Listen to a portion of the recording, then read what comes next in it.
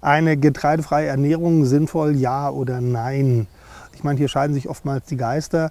Ähm, grundsätzlich kann man sagen, es gibt Getreidesorten, die können durchaus verfüttert werden. Ähm, letztendlich das gleiche wie mit, mit, Kohlehydraten, die dementsprechend hinzugefügt werden.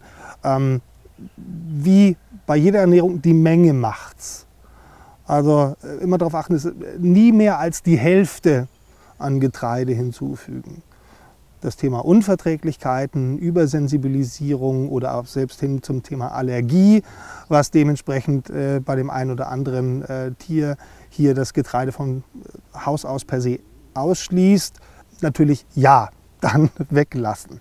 Aber grundsätzlich äh, spricht nichts dazu, äh, dagegen, letztendlich äh, Getreide mit zu verfüttern. Sie werden auch feststellen, dass in den meisten allgemein äh, Futtersorten, die, auch, die sie auf dem äh, Markt bekommen, dementsprechend Getreide ein, ein, fester Bestandteil ist. Aber wie gesagt, die Masse macht es. Immer darauf achten, dass der Anteil an Getreide nicht zu hoch ist.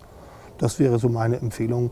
Und äh, wie gesagt, im Fall der Fälle, wenn hier Auffälligkeiten beim Hund festzustellen sind, den Arzt fragen, ähm, ob hier vielleicht ein Hautjucken oder sonst irgendwas zurückzuführen ist auf eine Unverträglichkeit gegenüber äh, Getreide oder Gluten.